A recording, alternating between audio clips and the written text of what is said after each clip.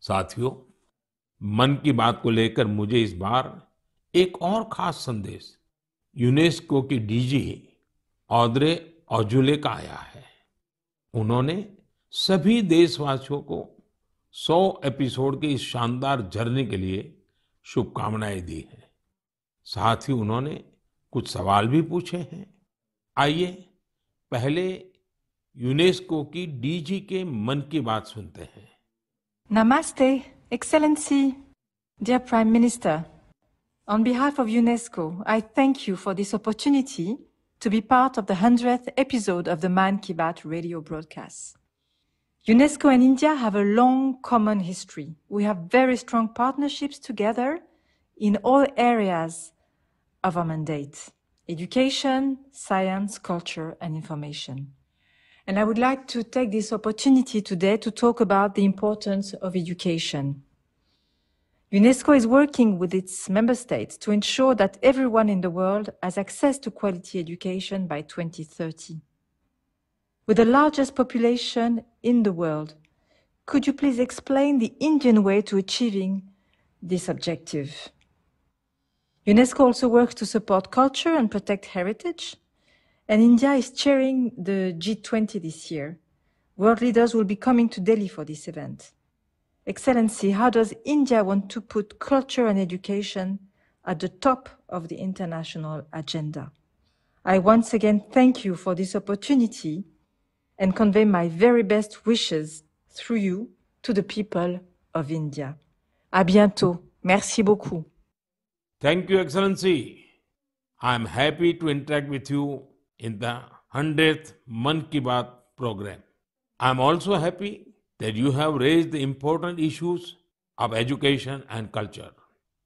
साथियों यूनेस्को की डीजी ने एजुकेशन और कल्चरल प्रिजर्वेशन यानी शिक्षा और संस्कृति संरक्षण को लेकर भारत के प्रयासों के बारे में जानना चाहा है ये दोनों ही विषय मन की बात के पसंदीदा विषय रहे हैं बात शिक्षा की हो या संस्कृति की, उसके संरक्षण की बात हो या संवर्धन की, भारत की यह प्राचीन परंपरा रही है। इस दिशा में आज देश जो काम कर रहा है, वो वाकई बहुत सराहनीय है। नेशनल एजुकेशन पॉलिसी हो या क्षेत्रीय भाषा में पढ़ाई का विकल्प हो, एजुकेशन में टेक्नोलॉजी इंटीग्रेशन हो आपके ऐसे अनेक प्रयास देखने को मिलेंगे। वर्षों पहले गुजरात में बेहतर शिक्षा देने और ड्रॉप आउट रेट्स को कम करने के लिए गुणोत्सव और शाला प्रवेश उत्सव जैसे कार्यक्रम जन भागीदारी की एक अद्भुत मिसाल बन गए थे। मन की बात में हमने ऐसे कितने ही लोगों के प्रयासों को हाईलाइट किया है जो निस्वार्थ भाव से शिक्षा के लिए काम कर रहे हैं। आपको याद होगा, एक बार हमने ओडिशा में ठेले पर चाय बेचने वाले स्वर्गीय डी प्रकाश राव जी के बारे में चर्चा की थी, जो गरीब बच्चों को पढ़ाने के मिशन में लगे हुए थे। झारखंड के गाँवों में डिजिटल लाइब्रेरी चलाने वाले संजय कश्यप जी हो, कोविड के दौरान ई लर्निंग के ज़रिए कई बच्चों की मदद करने वाली हेमलता एनके जी हो, ऐसे अनेक शिक्षकों के उदाहरण हमने मन की बात में लिए हैं। हमने कल्चरल प्रिजर्वेशन के प्रयासों को भी मन की बात में लगातार जगह दी है। लक्षद्वीप का कुम्मेल ब्रदर्स चैलेंजर्स क्लब हो या कर्नाटका के क्वेमश्री जी कला चेतना जैसे मंच हो, देश के कोने कोने से लोगों ने मुझे चिट्ठी लेकर ऐसे उदाहरण भेजे। हमने उन तीन कॉम्पिटिशन्स को लेकर भी बात की थी, जो देशभक्ति पर गीत, लोरी और रंगोली से जुड़े थे।